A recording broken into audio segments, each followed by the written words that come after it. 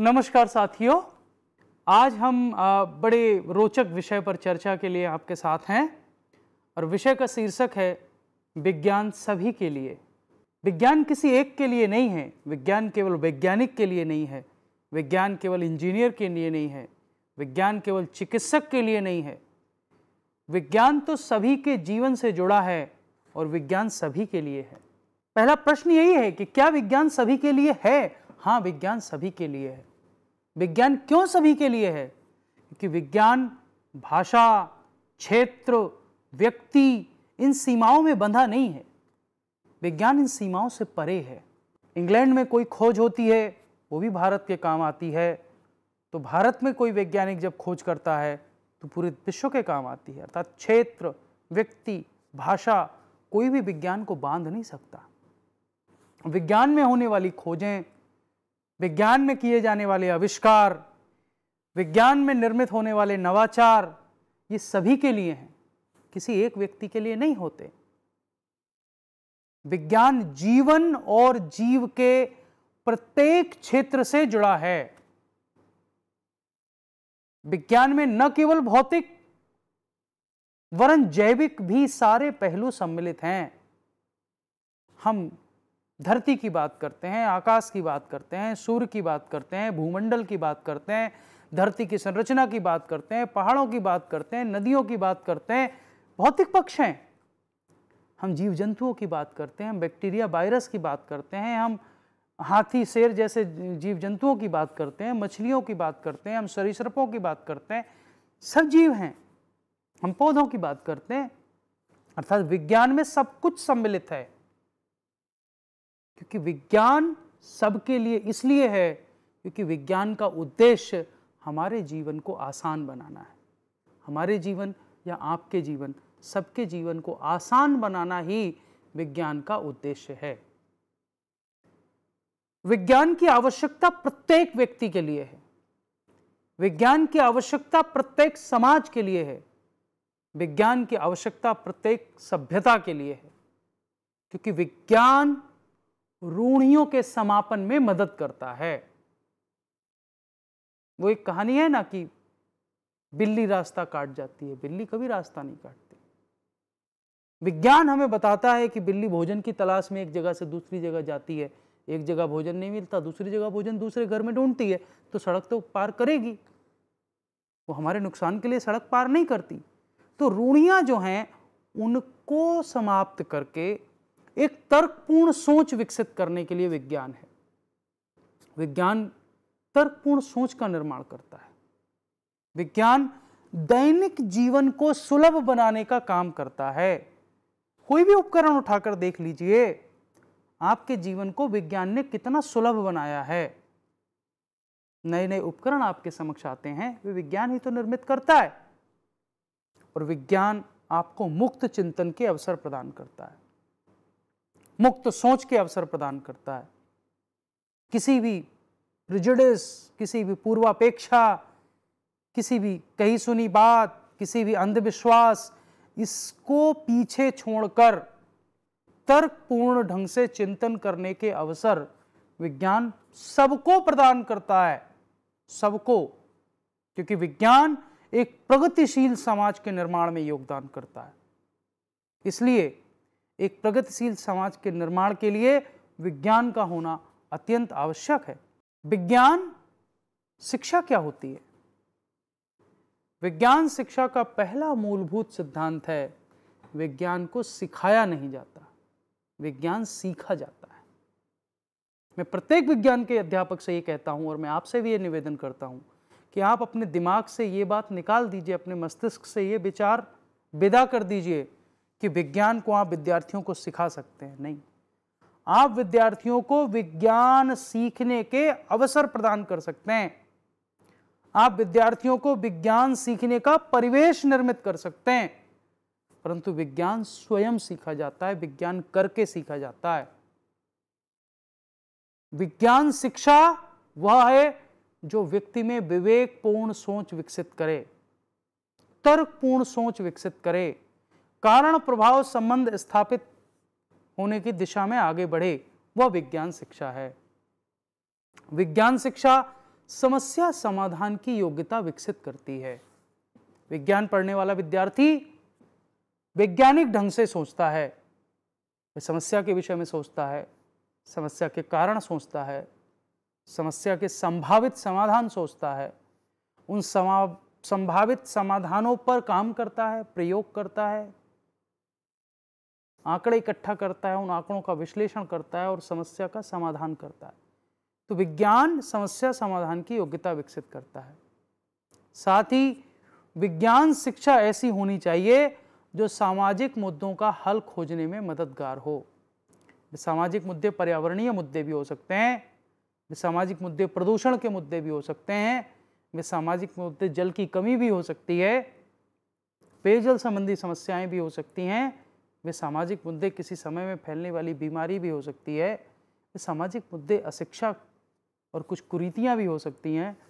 उन कुरीतियों, उन समस्याओं, उन पर्यावरणीय विषयों का हल खोजने में यदि विज्ञान शिक्षा मददगार है तो वह सभी के लिए मददगार है, क्योंकि उसका लाभ किसी व्यक्ति विशेष को नहीं होता।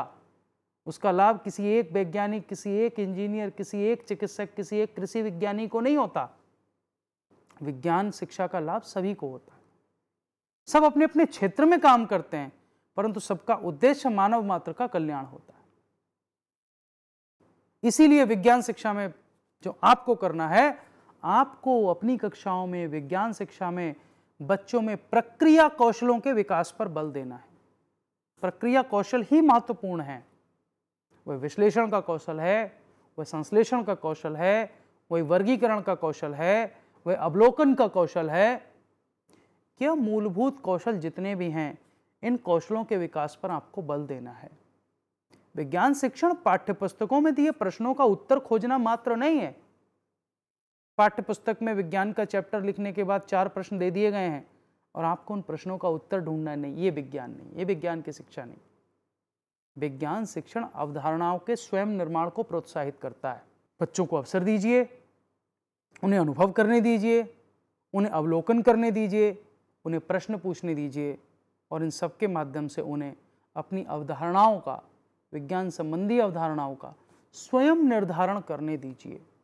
तो विज्ञान शिक्षा ऐसी होनी चाहिए जो बच्चों को अवधारणा के स्वयं निर्माण को प्रोत्साहित करे। विज्ञान तकनीकी और समाज में सकारात्मक संबंध विकसित करता है। तो विज्ञान शिक्षा ऐसी होनी चाहिए जो समाजोपयोगी तकनीकी के विकास में मदद करे और तकनीकी के सामाजिक स्वीकार्यता बढ़ाए। यदि इन दोनों में तारतम्यता नहीं है, इन दोनों में सकारात्मक संबंध निर्मित नहीं होता है तो विज्ञान शिक्षा किसी काम की नहीं। इसलिए विज्ञान शिक्षा सभी को दी जानी ज़रूरी है। अच्छा आप मोबाइल फ़ोन इस्तेमाल करते हैं। क्या मोबाइल फ़ोन का प्रयोग किसी व्यक्ति विशेष तक सीमित है? नहीं, प्रत्येक व्यक्ति तक सीमित है। मोबाइल फ़ोन एक तकनीकी है। विज्ञान के माध्यम से विकसित हुई है। समाज के काम आ रही है। टेलीविज़न एक तकनीकी है। विज्ञान के माध्यम से उसका आविष्कार हुआ है। समाज में प्रत्येक व्यक्ति टेलीविज़न देखता है। दवाएँ प्रत्येक व्यक्ति के इलाज में काम आती हैं। सर्जरी के उपकरण जिसको भी व्यक्ति को आवश्यकता होती है, जहाँ भी आवश्यकता होती है, वहाँ उसकी सर्जरी उन उपकरणों से की जाती है। रोबोट, भले किसी एक इंडस्ट्री में काम आ रहे हैं, लेकिन रोबोट उस इंडस्ट्री में जो बना रहे हैं, वो तो सबके काम आ रहा है। तो ये मान लेना कि विज्ञान केवल एक विषय से जुड़ा है, विज्ञान केवल एक व्यक्ति विशेष के समूह से जुड़ा है, विज्ञान केवल एक किसी देश विशेष से जुड़ा है, ऐसा नहीं है। तो विज्ञान शिक्षा हमें इस काबिल बनाती है हमें प्रेरित करती है कि हम समाज के प्रत्येक अंग को शिक्षित करें।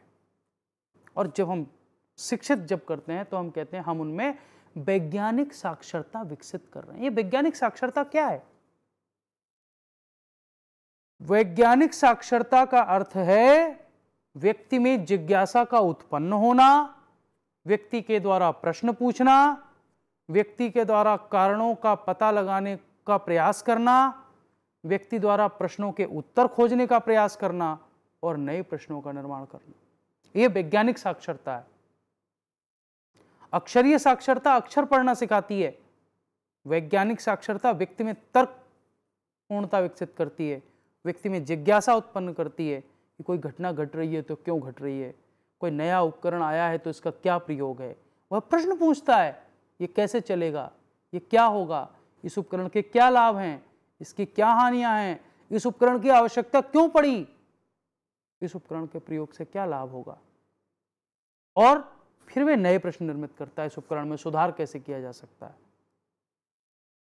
तो वैज्ञानिक साक्षरता एक व्यक्ति में आलोचनात्मक अवलोकन, वर्णन, स्पष्टीकरण करने और प्राकृतिक घटनाओं की भविष्यवाणी जैसी क्षमताओं को विकसित करती है। अर्थात जब व्यक्ति वैज्ञानिक रूप से साक्षर हो जाता है तो वह केवल अवलोकन नहीं करता, वह किसी वस्तु को केवल इसलिए नहीं देखता कि वो उसके सामने है, उसके समक्ष है। वह उसको आलोचनात्मक दृष्टि से देखता है।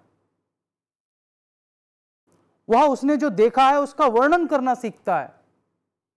वह जो वर्णन कर रहा है, उस वर्णन में स्पष्टीकरण लाता है।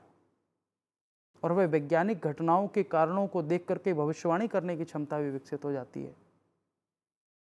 यह सब वैज्ञानिक साक्षरता के कारण ही संभव है। तो वैज्ञानिक साक्षरता में क्या क्या शामिल है? विद्वत जनों ने कहा है कि वैज्ञानिक साक्षरता में स्थानीय और राष्ट्रीय फैसलों में निहित वैज्ञानिक मुद्दों की पहचान सम्मिलित है। वैज्ञानिक साक्षरता में वैज्ञानिक तकनीकी सूचनाओं का संग्रह और विश्लेषण सम्मिलित है। वैज्ञानिक साक्षरता में प्रमाण आधारित तर्क प्रस्तुत करने की योग्यता सम्मिलित है। वैज्ञानिक साक्षरता में तथ्यों और तर्कों के विश्लेषण की योग्यता सम्मिलित है और तर्कों से निकले निष्कर्षों के उपयोग करने की योग्यता भी सम्मिलित है। जब हम स्थानीय और राष्ट्रीय फैसलों पर निहित वैज्ञानिक मुद्दों की बात करते हैं, समाज में कोई घटना घटती है, आपके आसपास कोई घटना घटती है उस घटना के विषय में समाज के प्रबुद्धजन कोई निर्णय लेते हैं? क्या उस निर्णय में वैज्ञानिकता है? क्या उस समस्या का वैज्ञानिक ढंग से विश्लेषण किया गया है? क्या उसके कारणों की ठीक से पहचान की गई है? जो व्यक्ति वैज्ञानिक तौर से साक्षर होता है, वही यह प्रश्न पूछता है। और न केवल स्थानीय मुद्दों में, वर्ण राष्ट्रीय फैसलों में भी वैज्ञानिक साक्षरता उनके विश्लेषण में मदद करती है। सरकारें देश के और समाज के लाभ के लिए बहुत सारे मुद्दों की पहचान करती हैं, बहुत सारे फैसले लेती हैं। लेकिन क्या उन फैसलों में तर्कपूर्णता है? वैज्ञानिक साक्षरता उस विश्लेषण में मदद करती है। जब वैज्ञानिक साक्षरता की हम बात करते हैं और कहते हैं कि वैज्ञानिक और तकनीकी सूचनाओं का संग्रह और विश्लेषण हाँ जो लोग वैज्ञानिक रूप से साक्षर होते हैं देश में, समाज में, विश्व में अलग अलग जगहों पर जो भी वैज्ञानिक घटनाएँ घट रही हैं, जो भी नई तकनीकियाँ विकसित हो रही हैं, उनकी सूचनाएँ एकत्र करते हैं, उनका विश्लेषण करते हैं और देखते हैं हमारे देश के लिए, हमारे विद्यालय के लिए, हमारी कक्षा के लिए क्या लाभदायक है, क्या इसका कोई लाभ हो सकता है, क्या बच्चों को बताने योग्य कोई विषय है क्या? यदि बच्चों को बताने योग्य नहीं, क्या साथियों से चर्चा करने योग्य कोई विषय है, क्या समाज से चर्चा करने योग्य विषय है?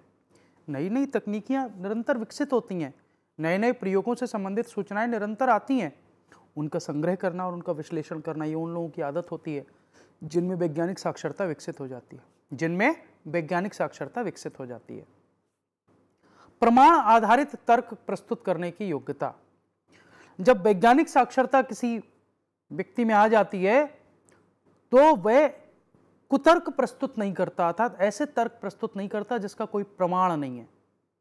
वह पहले प्रमाण एकत्र करता है, प्रमाण के आधार पर ही तर्क प्रस्तुत करता है। ये वैज्ञानिक साक्षरता की विशेषता है।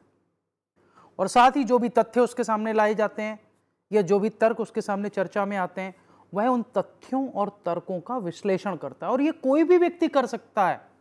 ये केवल विज्ञान का विद्यार्थी करेगा ऐसा नहीं है। ये केवल वैज्ञानिक करेगा ऐसा नहीं है। ये सब कोई कर सकता है। इसीलिए कहते हैं विज्ञान तो सबके लिए है। और फिर तर्कों से जो निष्कर्ष निकलते हैं, उन निष्कर्षों का उपयोग कर सकता है। वैज्ञानिक साक्षरता के कुछ मूल घटक हैं, जिन पर चर्चा करनी आवश्यक हो जाती है। पहला घटक है, मूल अवधारणा और नियम आधारित ज्ञान का आधार निर्मित करना।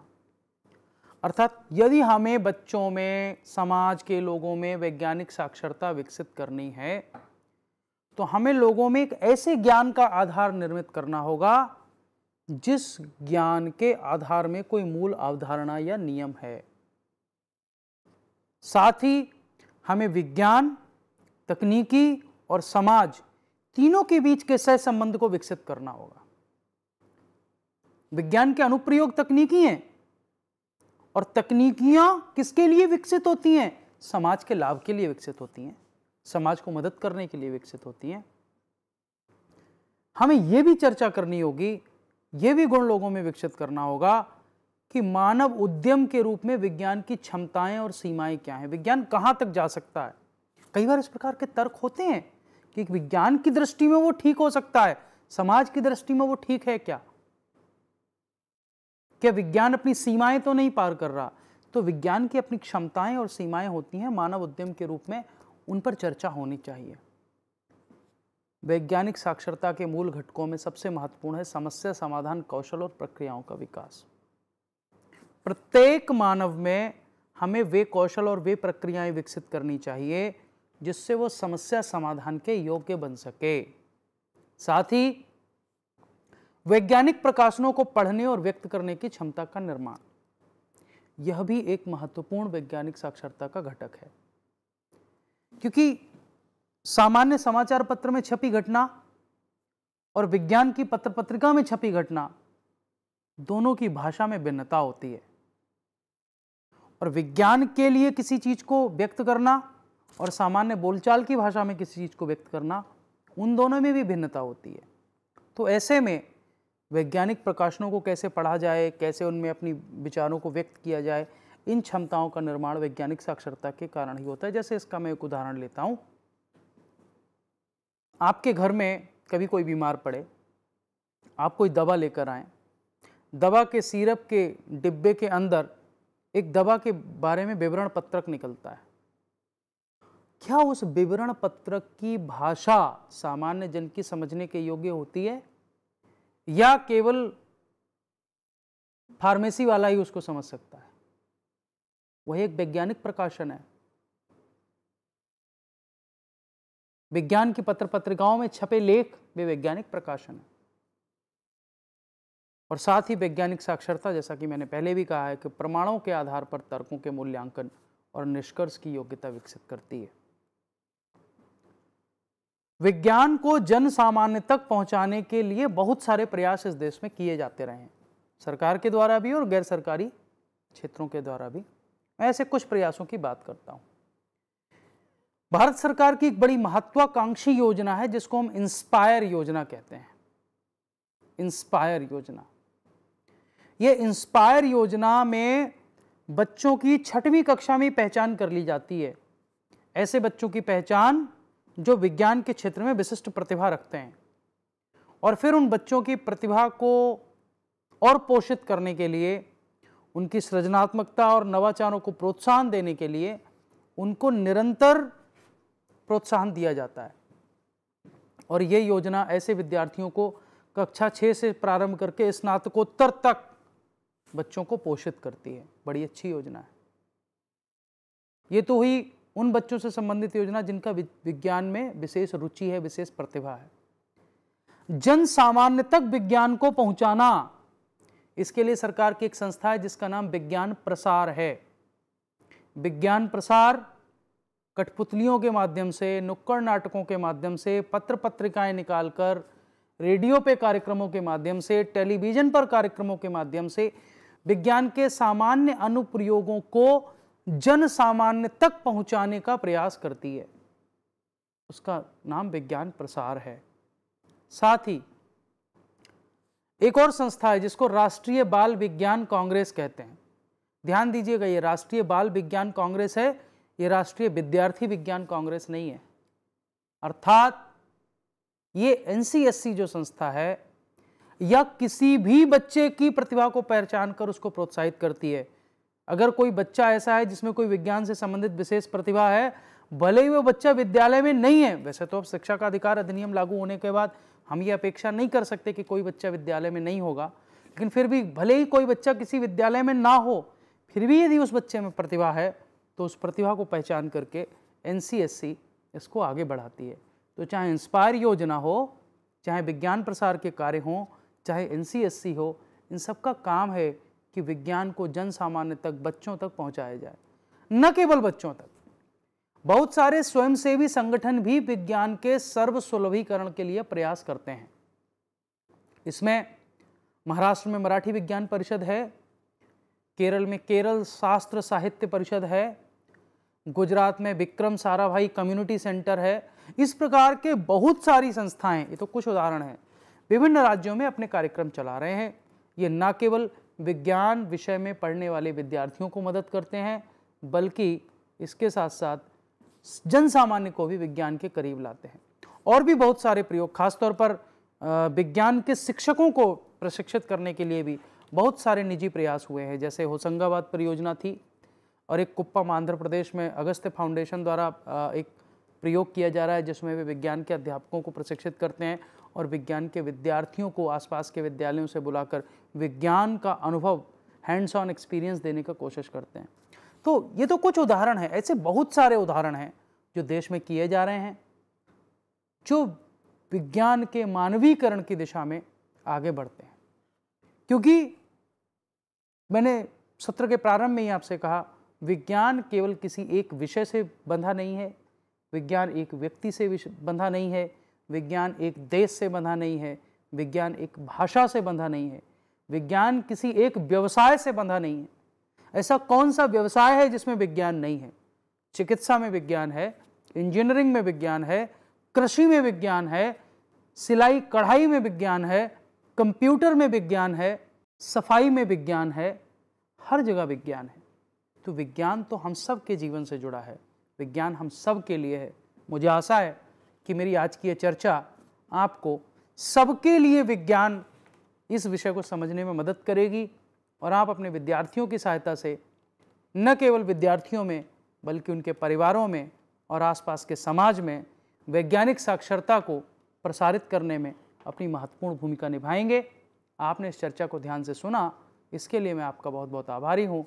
आप सभी का बहुत बहुत धन्यवाद।